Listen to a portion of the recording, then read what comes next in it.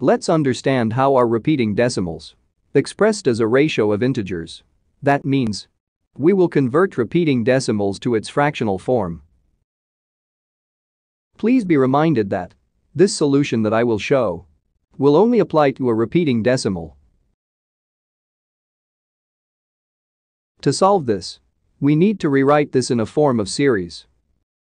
I mean, a geometric series. So we have 2.3 plus 17 over 10 cube plus 17 over 10 to the power of 5 plus 17 over 10 to the power of 7 and so on. Observe that we separate the portion of the number that doesn't repeat from the portion that is repeating.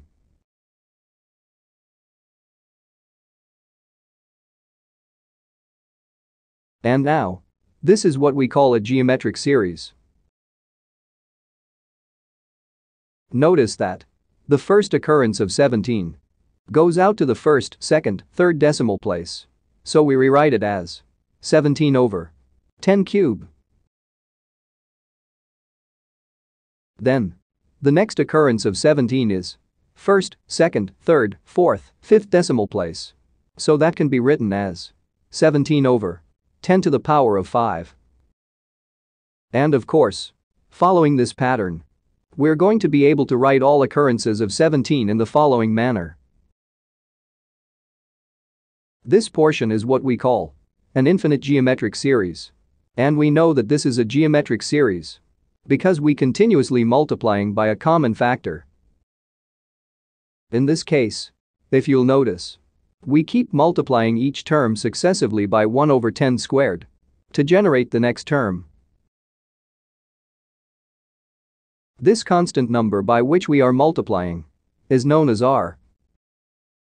Therefore, it's 1 over 10 squared.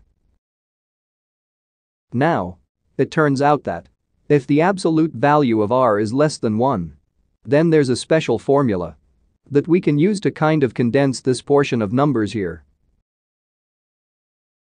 So, the formula for an infinite geometric series, considering that the absolute value of r is less than 1, so we have s is equal to a sub 1 over 1 minus r.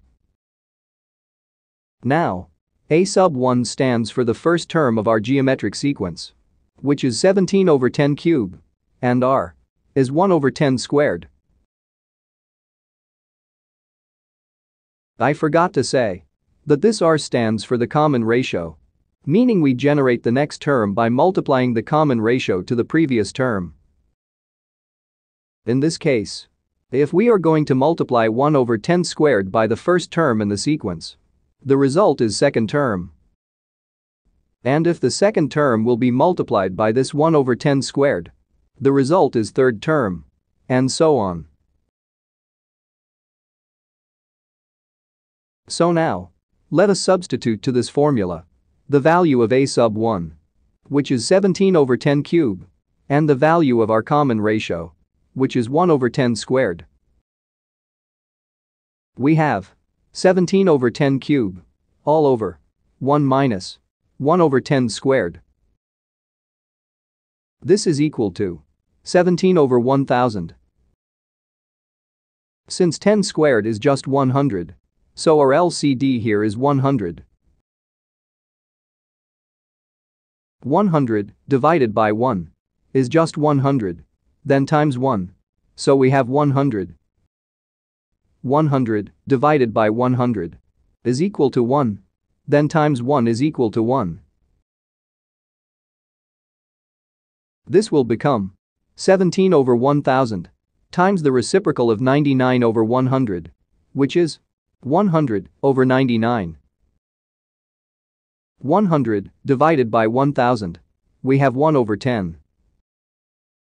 So our answer here is 17 over 990. Therefore this portion is 17 over 990. Let's now add this 2.3 and 17 over 990. But first let's convert this to fraction. And that is 23 over 10. 23 over 10. plus 17 over 990. And that is equal to 1147 over 495. This means that the decimal form 2.31711717 is equal to 1147 over 495 as its fractional form. Let's check in calculator.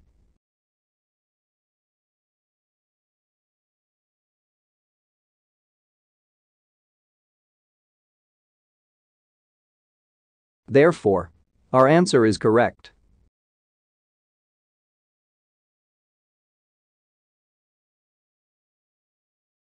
That's all for today's video. Check our video playlist for more similar videos. And if you are new to our channel, consider subscribing and don't forget to leave a like and comment down below if you have any questions. Bye for now.